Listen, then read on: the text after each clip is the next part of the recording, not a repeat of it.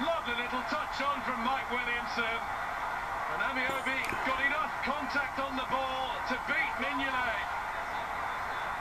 Quite incredible. He hasn't scored since October.